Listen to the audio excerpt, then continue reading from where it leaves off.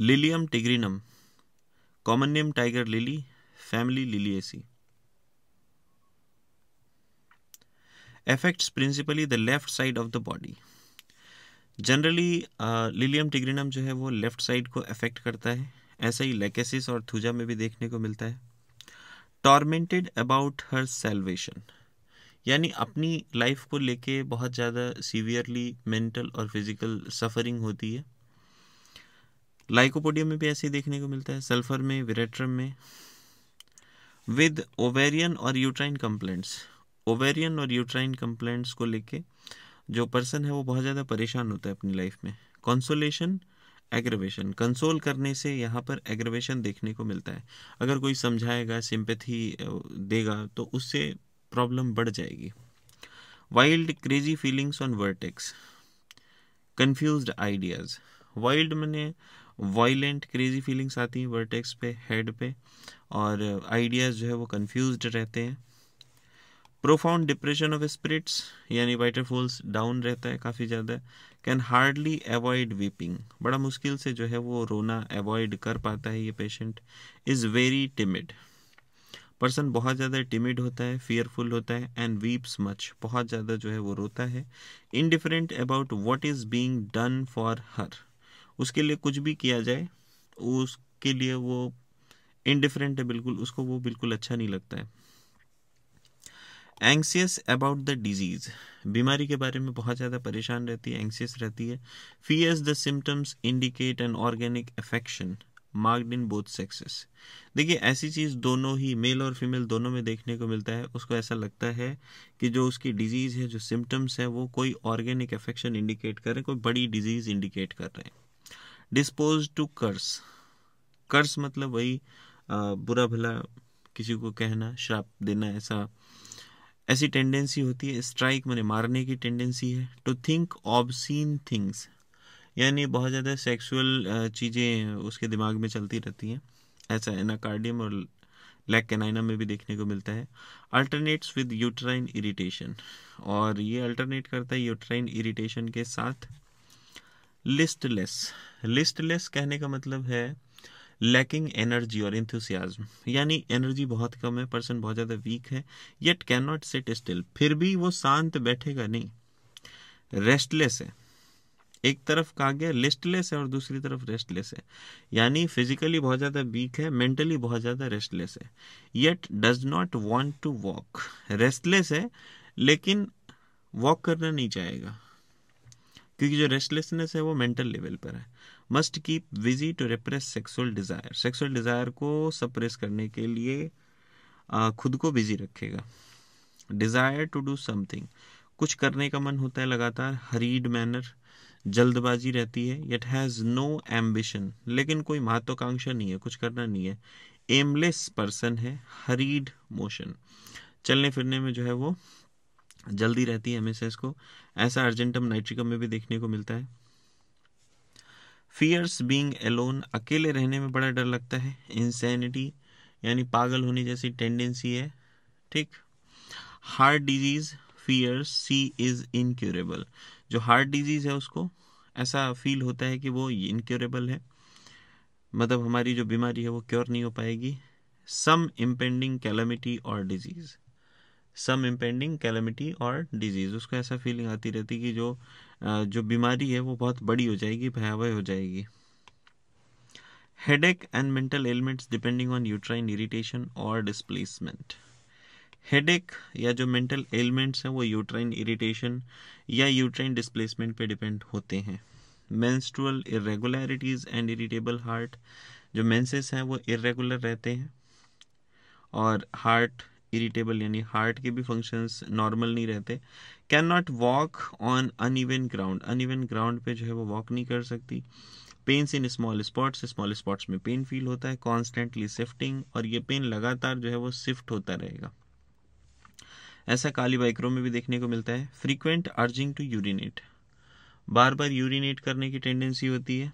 If desire is not attended to sensation of congestion in chest और अगर जो बार बार यूरिनेट करने की डिज़ायर है, उसको अटेंड नहीं किया मतलब यूरिनेट करने नहीं गया तो चेस्ट में कंजेशन जैसा सेंसेशन होने लग जाता है। बियरिंग डाउन सेंसेशन है एब्डोमेन में पेल्विस में, ऐसा लगता है कि सब कुछ नीचे की तरफ़ जा रहा है। As though all organs would escape ऐसी फीलिंग आती है कि सारे के सारे ऑर्गन्स जो है वो स्केप कर जाएँगे, निकल जाएँगे। लेग कैनाइना में भी ऐसा ही फील होता है म्यूरेक्स और सीपिया में भी ऐसा फील होता है। Aggravation supporting vulva with hand और एग्रेवेशन फील होता है। ऐसा लगता है सब कुछ नीचे की तरफ़ निकल जाएगा।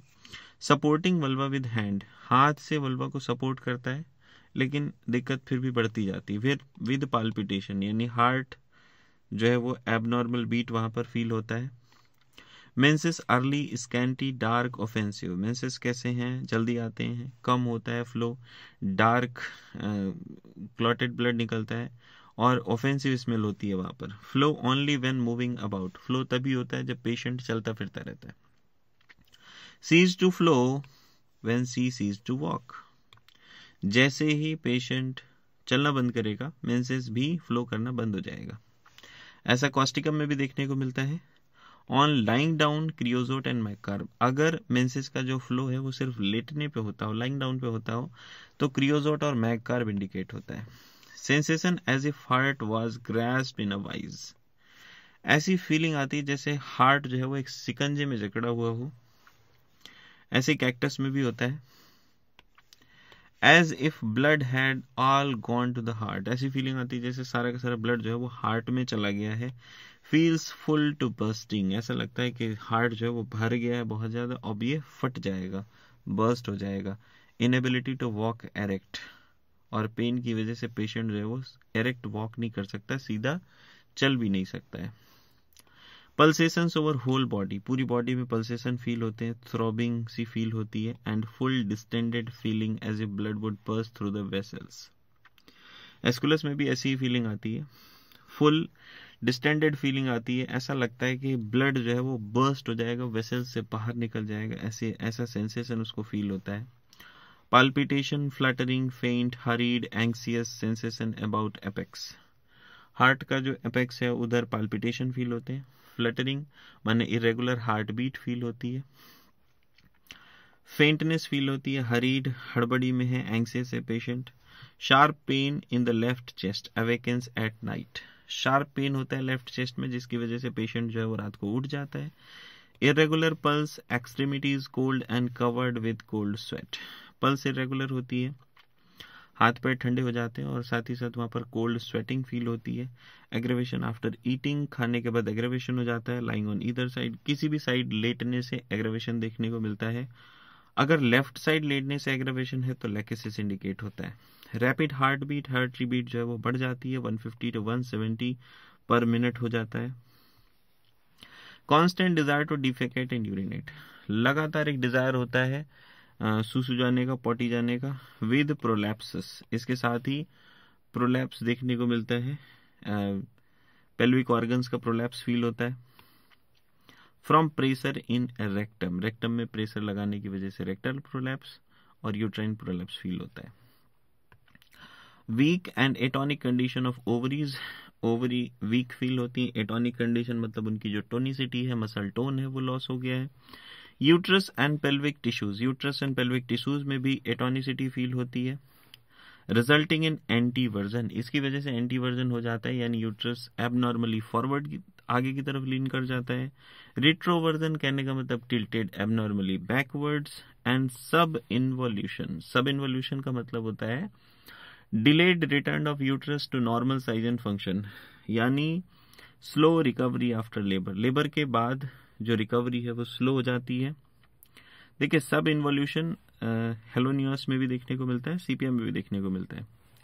नियरली ऑलवेज विद कॉन्स्टिपेशन जो स्लो रिकवरी है लिवर के बाद वो कॉन्स्टिपेशन के साथ आता है। किसकी वजह से? फ्रॉम इनएक्टिविटी इनएक्टिविटी की बात यहाँ पर करी गई। इनएक्टिविटी ऑफ़ रेक्टम इंडिकेट होता है कि रेक्टम की इनएक्टिविटी की वजह से कॉन्स्टिपेशन बना रहता है। रिलेशंस की बात करें तो आ, कुछ मेडिसिन कंपेयर करी जाती हैं। जब हम यूट्राइन कंप्लेंट्स की बात करते हैं या यूट्राइन प्रोलैप्स की बात कर रहे हैं तो एक्टिया एगारिकस कैक्टस और हेल्डोनियस को कंपेयर किया जाता है। Thanks for watching like share the video with friends comment the topics you want bit explain and subscribe the channel for more videos on homeopathy